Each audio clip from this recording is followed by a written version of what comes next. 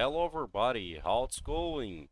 Today I'll be teaching you how to convert MATIC to Ethereum and MetaMask.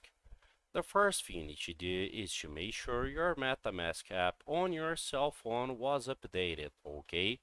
If you are doing that on your computer, you don't need to worry about that.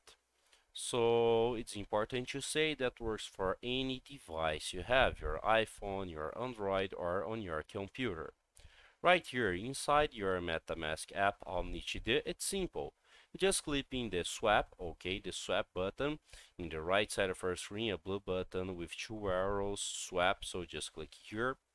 And after that, in the swap section, you see swap from, and you select right here the matic and in the second option swap to you need to select ethereum after that you just continue follow the steps to convert matic to ethereum on metamask okay i hope i can help with that information. If you like it don't forget to subscribe to our channel and hit the like button. See ya